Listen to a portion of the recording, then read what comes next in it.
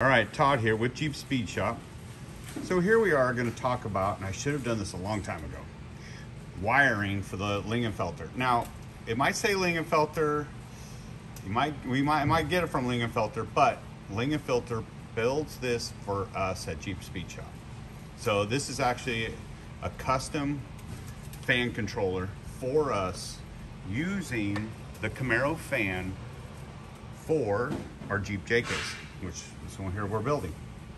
So we're gonna talk a little bit about wiring, and I probably should have done this a long time ago, um, but the Lingenfelter comes with the wiring diagram, but we're gonna go over the wiring really quick.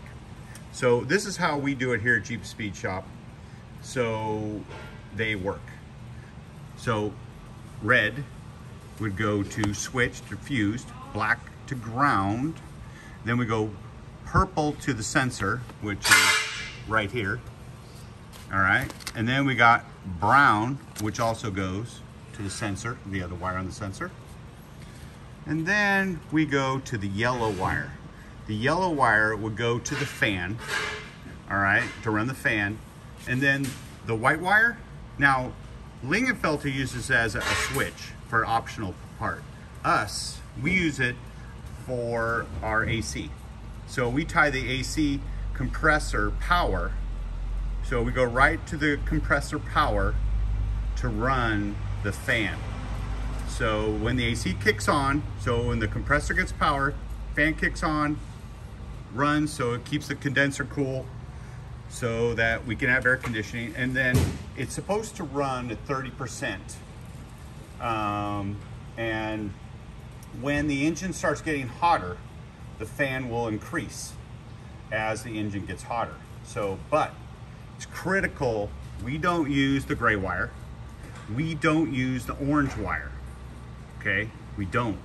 We use red, black, purple, brown, yellow, and white. Um, so their diagrams are right. We just don't do, you know, we don't use, we don't need a light. I mean, if you want a light, go ahead. We don't, we don't. Uh, and we don't do a switch necessarily because we're hooking that to the AC compressor.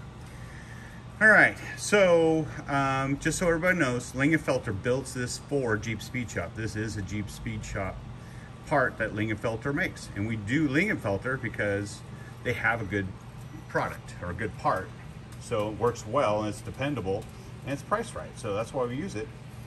And we do it in all of our truck Hemi conversions and the 392 or 6.4s and also the non VVT 5.7s. So this fan will work in anything really, but we have it set up for our deal so that we can run a pulse modulated Camaro fan um, to keep our engines cool. All right, here we go. Jeep Speed Shop out.